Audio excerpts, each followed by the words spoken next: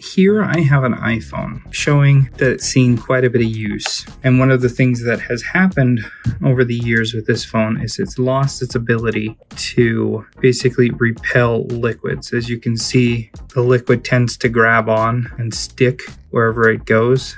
It doesn't just beat up and run like you'd see on a newer phone. For example, here you can see automatically beads up and runs away without leaving any liquid behind.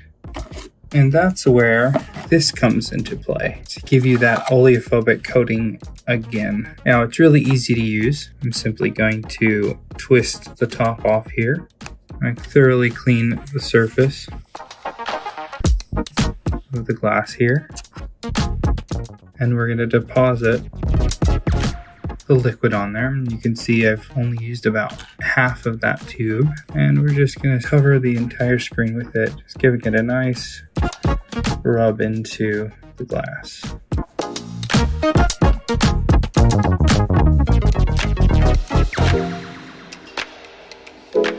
Ensuring a nice even coating of it everywhere. And then we'll let this dry for about a half an hour and we'll check the results then. All right, it's been just about a half an hour, so let's take a look and see if we have a different result. And would you look at that? It's just running off. And this is 99.9% isopropyl alcohol.